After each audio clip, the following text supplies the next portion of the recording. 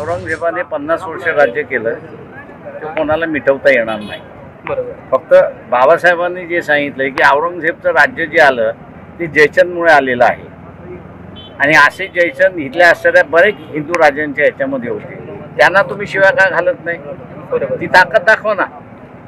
ज्यांनी या देशाला गुलाम केलं त्यांना असताना त्यांची निंदा करा ना. असेल ताकद तर करून दाखवा. पण हिंदुत्वाची पताका आमच्या हातात आहे. आम्हीच म्हणजे हिंदुत्व आहोत. हे बोलणाऱ्या उद्धव बाळासाहेब ठाकरेच्या शिवसेना आणि उद्धव ठाकरेंची भूमिका काय ही देखील आता महत्त्वाची आहे.